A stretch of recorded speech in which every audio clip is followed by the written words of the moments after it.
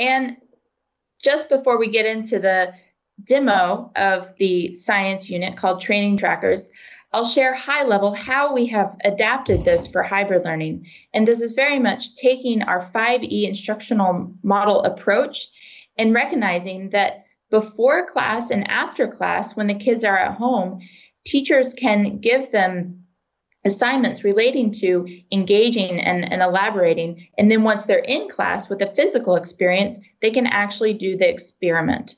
And this Yannick will share in more detail in his demo. All right. Thanks, Melissa. So I'm here to uh, present the, uh, the work that we've been doing for the last uh, couple of months. Uh, as you, you definitely know, the couple of months have been a little bit eclectic, so they've been uh, different uh, than regular life. The team has been working really hard to develop a, a new experience or a, a supplementary experience in the, the Spike app. Uh, and I'm super excited to present you a, a completely new unit. Uh, it's based on a theme of, uh, of exercise, of being active, and it's, it's under the theme of training trackers.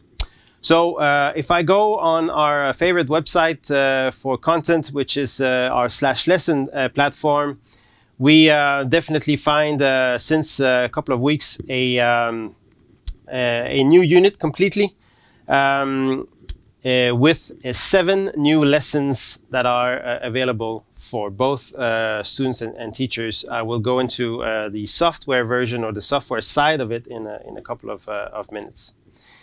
Um, if I go back to the theme, training trackers, um, we are in the world of, uh, of movement, in the world of, uh, of, of, students being, uh, being active, students being engaged into physical activity or just you know being being uh, being teenagers out there. And and and and some of them are uh, really interested about uh, tracking their movements or tracking their uh, progression or tracking something. So there's tons of uh, smart devices out there uh, for us to use. And in this unit we propose spike smart device um, we are in a theme of, uh, of uh, physical science as well. So we're going to talk a lot about uh, physical, um, sorry, uh, potential energy, kinetic energy, speed, acceleration. So that's that's kind of the, the topics we are going to uh, to talk about uh, in in this in this unit. And as you're going to see, we we are bringing tons of new tools in the in the application. So we're bringing a data data logging line graph tool uh, and I'll demo that in, in a couple of minutes. So this is the, uh, the unit overall. If I go into uh, one specific lesson, uh, and as I said, we're, we're going to uh, work with uh, stretch with data a little bit today. So um, teachers can, can use this page to, to get ready for, for planning and, and, preparation. As, as I said, and as Melissa was mentioning, uh, we are in, in, in, a world where, where maybe uh, schools are, are not open or not functioning as they, they usually are, which means that uh, it is possible for now to propose a, a, an option where part of the, of the lesson is, is done maybe outside of the, of the classroom. It can be at home, it can be uh, at the library, it can be in, in different locations. But definitely that's the first part of lessons, so the preparation part or the hypothesis or the introduction to the topic can be done outside the classroom. Then we, uh, we want to make sure that when you are in the classroom, you have uh, your, full time, your full 45 minutes uh, playing with the bricks when you can come to school. And then you collect enough data, you collect enough information, videos, pictures. So when you go back to, uh, to home, uh, you, can, you can work with this, this data and, and produce a, a final outcome it could be of various forms, a science report or a video online or, or a presentation uh, in different uh, uh, meeting platforms. So this is what we are proposing for teachers. So we, we have definitely uh, listed different ways we can, uh, we can suggest the teacher looks uh, at, at our lessons. But basically, we haven't changed a lot. Um, we are still following our 5E structure and having this engage phase, uh, explain phase, elaborate phase, uh, and, and, so on. A couple of adjustments we've also made is that uh, in the differentiation part, uh, we've uh, we've focused a lot on on how can we maybe enable uh, um, students to to do some of the lesson at home if they would probably uh, maybe borrow the the Spike uh, Prime Hub. Uh, we have options here. I think the the theme that we've been following along this the development of that unit is is making things flexible making things uh, uh, adjustable for all sorts of scenarios uh, that we are going to see during the fall and, maybe for a couple of months more around around the world. Um, we've also used a lot of um, here, here is the uh, the line graph. Maybe you're excited about uh, showing how uh, seeing how it works. So I'm going to demo that in a, in a couple of, of minutes. Um, maybe you see here also the uh, the use of, of, videos being a, little bit more emphasized. So I would like to uh, to to talk about about it a little bit more. So each of the of the lesson have a, uh, a lesson video that sits on top of uh, of the of the page, uh, and that video is dedicated for the teacher as as the some sort of the full uh, the full package of what's happening in this lesson. And as you're going to see in a, in a couple of minutes, we have also shrunk uh, or chopped that video in, in, in, sequences so we can, uh, we can also present some of them to the students when they are uh, at home or preparing the, the lessons. So I think now it's a good time just to, to watch the video of this, of this lesson. So um, let's, let's take two minutes for, for that.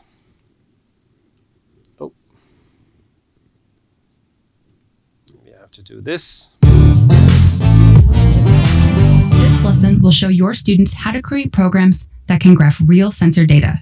They'll learn how to correlate graph curves with real life movement, like stretching, and practice doing just that. To complete this lesson, your students will build a yoga ring.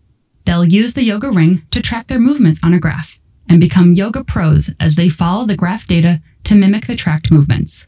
To prepare for this lesson, take a look at the Stretch with Data lesson in the LEGO Education Spike app, or watch the following videos. It's time to stretch. He'll start with the resistance bands.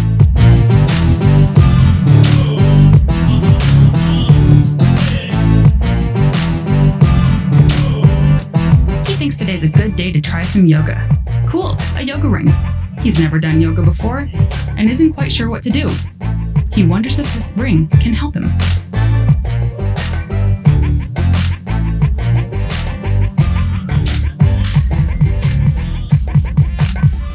It's time to make your own yoga ring. You can build this one or create your own design. So how does it work? Well, there's a motion sensor inside the hub. When the hub is rotated, it tracks and records the angles. You can find something similar in smartwatches and phones. The motion sensor tracks three values the pitch, the roll, and the yaw. Each of these values is an angle, and that's what we're going to track.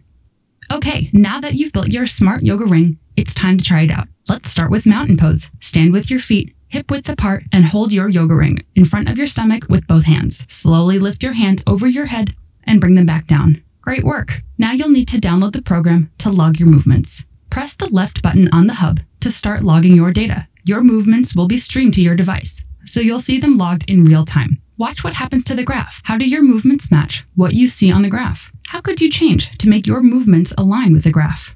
Now let's try a second pose, Warrior 2. Start in mountain pose, then step your feet about a meter apart, pivot on your toe, and bend your front knee. Bring your arms down to shoulder height, holding your yoga ring in one hand. Log your new movements using the same program structure. Don't forget to change the value from pitch to roll. Press the left button on the hub to start logging, then practice your Warrior 2 pose. Download the updated program to log your new movements. What's happening to your graph? How do your movements align with what you see on the graph?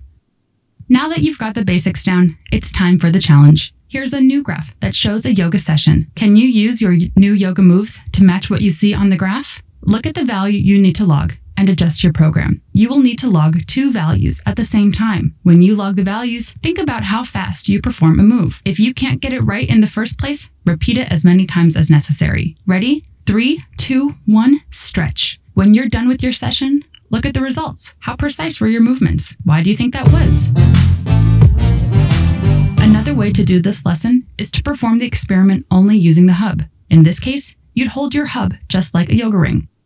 Let's explore math using your yoga ring. Try this. Identify a place on your graph where the values are represented by a straight slope. not a curve. Use the Spike app to find the top and bottom coordinates. Find the math expression represented by y equals mx plus b, where y equals the angle at a specific time, m equals the slope, x equals time, and b equals the angle where the graph starts. This equation will give you the degrees per second you're moving the yoga ring. Now let's explore language arts using your yoga ring. Contact a yoga instructor or fitness trainer in your community and show them your yoga ring. Ask whether it could be useful in their daily practice. Write a report on your findings. Now you're ready to stretch.